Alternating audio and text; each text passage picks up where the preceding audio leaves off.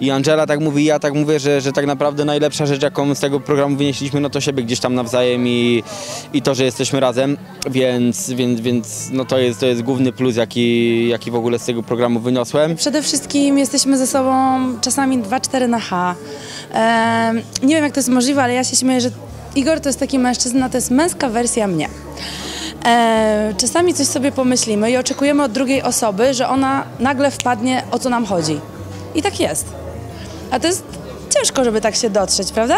Jeżeli chciałam zapytać, czy mieliście taki jakiś trudny moment dotarcia się, bo czasami tak jest, że razem się zamieszka i no coś tam zgrzyta. Właśnie nie, właśnie świetnie się dogadujemy. Nawet nikt nikomu nie musi mówić o jakichś takich pierdołach, podstawowych obowiązkach domowych.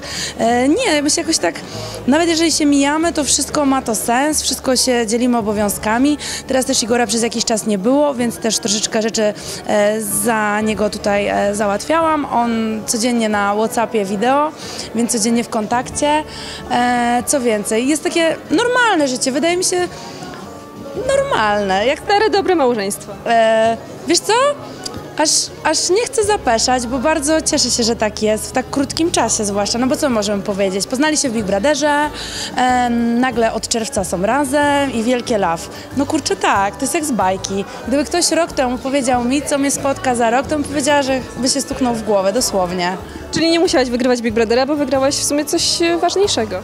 Wygrałam znaczy coś ważniejszego, warto jest się starać dla kogoś i wcale życie singla nie jest takie fajne.